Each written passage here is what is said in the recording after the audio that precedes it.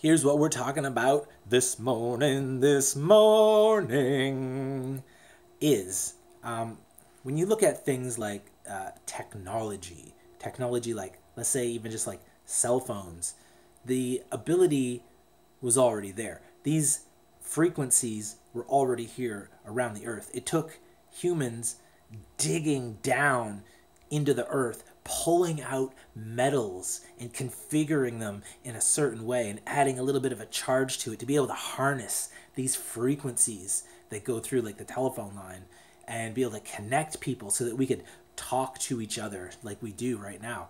And over time, we started to just develop into like these creatures that believed that it was the technology that was connecting us. But no, that connection was already there. It just because we don't believe we humans we don't believe in frequencies and we don't believe in the things that we can't see but there's like radio waves going all through this room right now. There's a wi-fi signal with crashing its wi-fi waves all over the place. I can't see it but it's there and we know that it's there because of the machine over in the corner and the lights are blinking so i know that it's on i know that it's working and i'm watching shows on the internet right now so i know that that's working.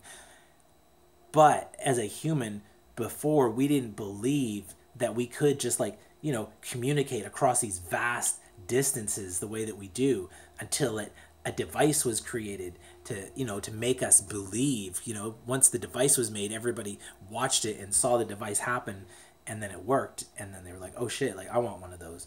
So but you know and that's like the telephone and later into like the cell phone technology. So these waves are already there. It's just a matter of finding ways to tap into them to be able to harness that power. What other waves are out there in the potential wave frequencies that we haven't yet tapped into and brought into manifestation on the earth? Maybe we need to dig down into the dirt again, pull up some more metal, and configure it a little bit differently this time to be able to tap into some different kind of frequencies.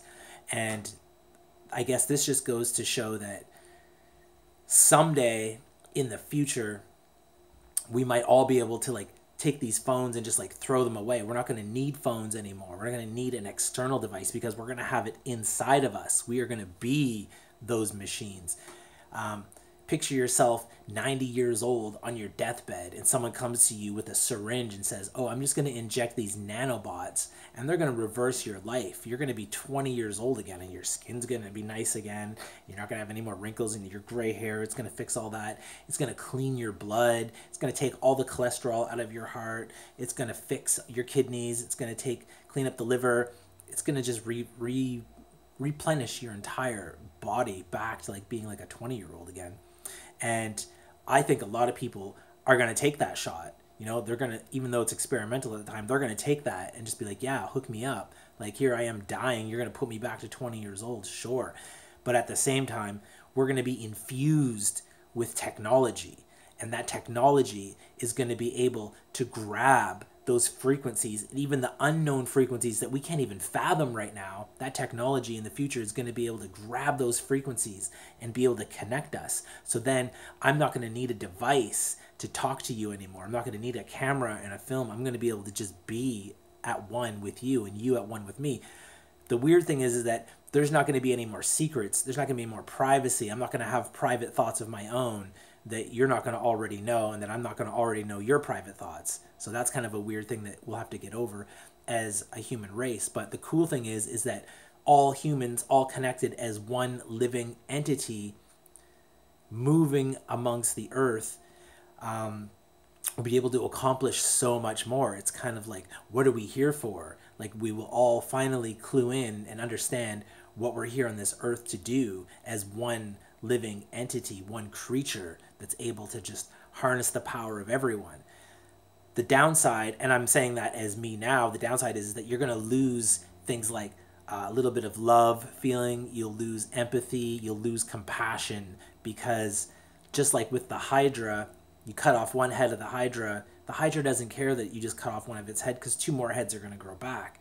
And the same with us people who will now all be controlled as if we were just one living organism. You know, if one or two of us die for whatever reason, for let's maybe say that our purpose is to, some of us are going to have to mine uh, more metals out of the earth to create more nanobots for the new children that are being born.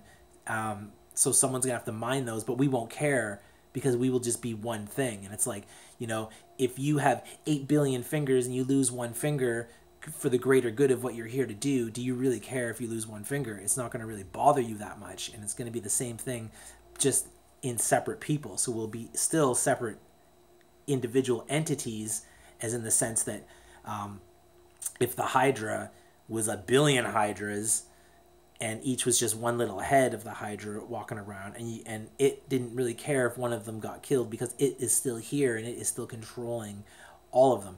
And it's not like I'm going to be the controller or you're going to be the controller. We are all going to mind meld into this one entity, into this one consciousness, who is then able to control all moving parts of the entire system.